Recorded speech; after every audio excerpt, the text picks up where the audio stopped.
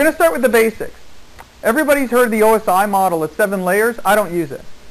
Okay? I only use the four-layer model because that's what you can actually work with. For example, this is where I start asking you guys questions. Layer one's the physical layer, right? It's called the bit layer. And the bit layer just simply means one and a zero. So if I was to type Tony, T-O-N-Y, that's made of a bunch of zeros and ones, right? So that's all we're trying to do, is represent data in its simplest form, zeros and ones.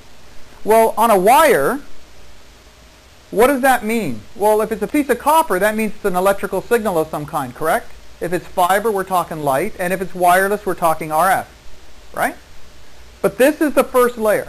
And I tell people, if you can electrocute yourself or blind yourself with it, it's probably layer one, right?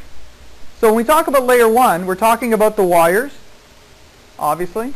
And if we get a whole bunch of wires and we all plug it into a box in the middle and we want a layer one box to combine all this, that's called a hub. Okay? The problem we have with layer one networks is if I got a problem with my wire and there's a, a problem and there's noise, this is wrapped around an electrical motor, an arc welder, something, okay, and there's noise on the wire. The problem with that noise is that box doesn't know it's noise. It just knows it's ones and zeros. So it will take noise and send it everywhere. Right? And that's the problem we had with networks when they first came out. One bad wire would take the whole network down. I'm sure you've heard of that before. Okay? That's the physical layer.